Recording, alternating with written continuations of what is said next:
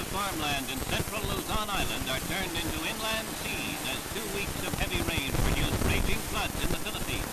Hundreds of thousands of people are marooned, their homes in many cases destroyed, and the dangers of famine and epidemic hover over the land.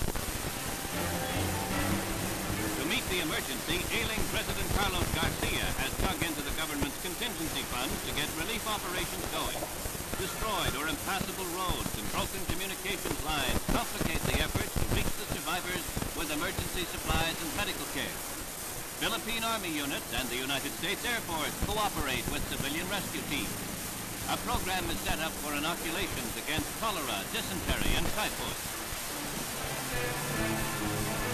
Their lives dislocated by nature's fury, thousands of Filipinos have to start over again.